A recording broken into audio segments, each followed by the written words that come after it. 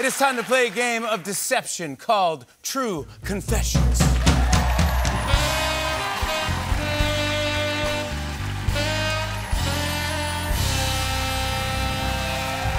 My first opponent tonight is an award winning actress who stars in the new Netflix series Inventing Anna. Please welcome Laverne Cox. Float it in. It in. Welcome.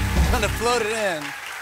Uh, Laverne and I will be facing off against a multi-talented actor and director. His new series, Severance, can be seen every Friday on Apple TV Plus. Please welcome Ben Stiller.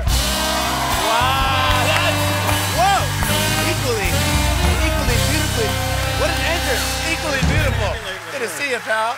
Nice to see you. Uh, guys, here's how each of this works. In front of each of us are two envelopes containing confessions. One is true, the other is a lie. Once you read your confession, the other two players get to interrogate you. Then they have to come up to a unanimous decision. Is it a truth or is it a lie?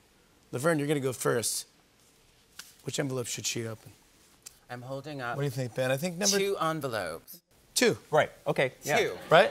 Good. We didn't do Good. this. So that wasn't pre-arranged. No, that wasn't free. See, is this how it is at the restaurant when you're ordering? oh my God.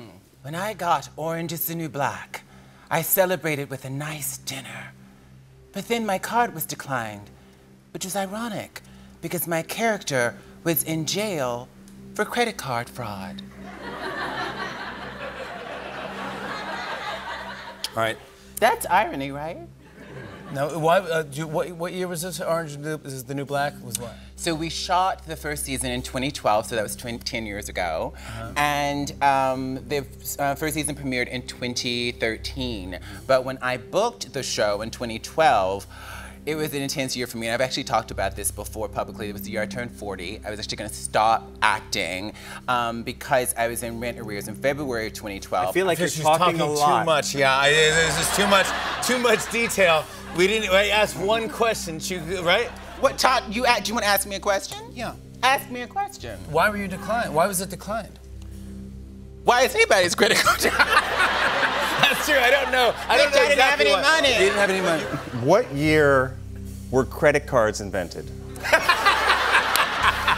That's, see, that's it. He throws you off. He throws you off with those questions. So, Mr. Stiller, I know I'm a woman of a certain age, but I'm not that old. No. Yeah. okay. Uh, did they I have a question. What, Yeah. Simple question. What was the restaurant? The restaurant is this restaurant called L'Express here in New York City. I ordered um, the grilled salmon that you put on a salad, but without the salad because it was lighter than the and cheaper than the um, salmon that you would get as an entree. And then I would have a lot of shredded Parmesan cheese on the salmon Doesn't sound like something that no one with a credit card would order normally. with, with but the pièce de résistance. Two orders of French fries because they're my favorite French fries in the city. They're so delicious. You- Do you know you know the French fries I do know, the yeah, the French fries, French, the frites. They're really yeah. good French The fr- fries. French fries, yes. Pommes frites. A pomme frite. Yeah. I am saying, you, absolutely without a doubt, this is a, uh, it's a lie. Total lie. Laverne Cox, is it the truth or is it a lie? It's a lie. Did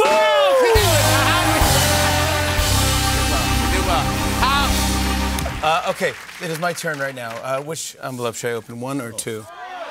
I'll say one. One. I was one of the voices on U2's hit song Vertigo.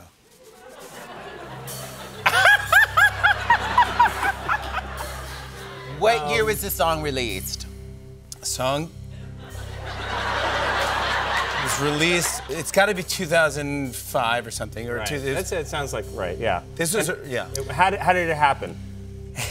I was at a party with Bono, That's believable. Michael Stipe was one of the people there. We had a bunch of friends hanging out, Right. and he was talking about he's recording his new album. I said, "Cool," and he goes, "Let me play you a song," and he played me Vertigo on his phone. And so I want to cross-check this with the invention of the iPhone. Yeah. I don't know. I don't. know I don't know if it was an 2004, iPhone. there were no iPhones in 2004, obviously. You're gonna play it on a BlackBerry? It was. Bono it- I think it was an MP3 player. Okay. Maybe not iPhone. It was something. And now, okay. So, I'm yeah. a little confused. Everything's changing now. So he goes, but I want to add some part here after hello, hello, and he goes, I want to say hello. can we get all of you to scream hello? We called his phone and left a message on his phone, and I go, hola! And what you hear on the record is me on Bono's voicemail singing, hola!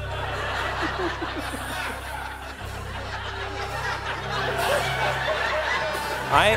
Hola! All right. Hello, hello. Yeah. Hola! I think it's true.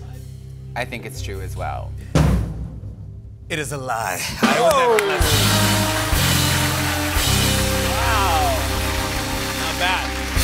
Uh, here we go right now. Uh, uh, ben, Ben, it is your, yeah. I will say for Ben Stiller, number one or two. All right, so you're going number two? All right, do number two. He's a legend. Thank you. Right. Okay. He laughs as he looks at it.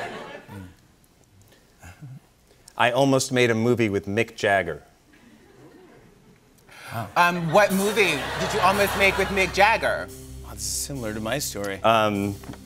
I almost made a movie with Mick Jagger that was a, uh, a concert film that uh, I was going to direct and, and act in with myself and Brad Pitt, based on the story that these two super fans were following the Rolling Stones all around. And I was one, and, and Brad Pitt was the other one. And, and I, we were. I, I know I've known you for a long time, and I know that you've Wow. had you have crazy stories. no, no, no, no. Yeah, right. There's I crazy know stories. for I know Right. you have some crazy stories. Yeah. You, didn't you? You once almost fought Boom Boom Mancini in the ring. I did. I almost. I was going to a boxing What- gym. Yeah. Boom Boom Mancini. Were they on the um what the uh, Flintstones? Boom Boom Mancini. The No, boxer, the boxing boxer, champion. famous boxer. So Pebbles? you're thinking of Bam Bam, Bam Bam Bam. Bam. Bam No, Bam. Bam Bam. Bam Bam. Yeah, not Boom Boom, Bam Bam. All right, wait, sorry. This has yeah. It has nothing to did do with happen. Boom Boom or Yes. Bam Bam. So this So definitely happened.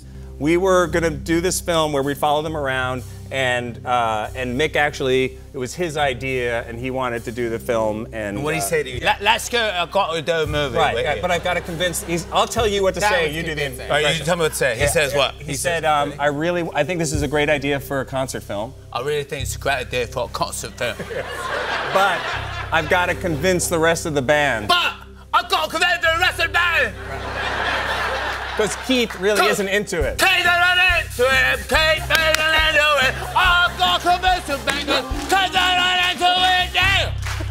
Now, I don't know. I don't know about this. What do you think?